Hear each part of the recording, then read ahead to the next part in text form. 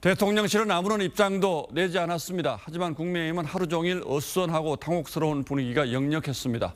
오늘 오전에 하려고 했던 추석 귀성길 인사 행사를 급히 취소하고 비상의원총회를 열어서 대책을 논의했습니다. 국민의힘은 이 상황을 어떻게 보고 있는지 황병준 기자가 취재했습니다. 국민의힘 의원들이 사법부 규탄 메시지가 담긴 손피켓을 들었습니다. 문권구속, 육권석방, 온 국민이 분노한다. 국민의힘은 긴급 최고위와 비상의원총회를 열어 이재명 대표 영장 기각에 강한 유감을 표했습니다.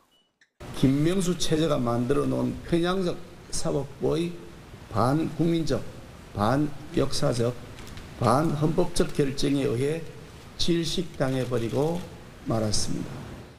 영장 기각이 추석 민심에 줄 영향을 우려해 당초 오전에 예정됐던 귀성길 인사를 취소하고 대책 마련을 논의한 겁니다.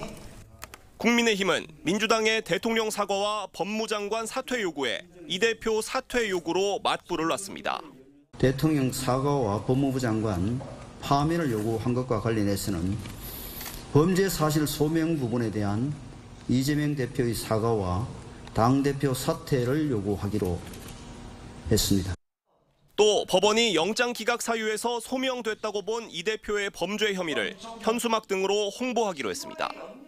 대통령실은 사법부 결정에 대해 대통령 비서실이 논평을 낸 적이 없다며 별도의 입장을 내지 않았습니다. 그동안 이 대표의 사법 리스크와 민주당 방탄 프레임 공세에 주력해온 국민의힘은 대야 전략 수정이 불가피해졌습니다. 국민의힘은 싱크탱크인 여의도 연구원이 차기 총선 접전 예상 지역에 대한 조기 공천 검토 보고서를 작성하는 등 총선 전략 마련에 부심하고 있습니다. TV조선 황병준입니다.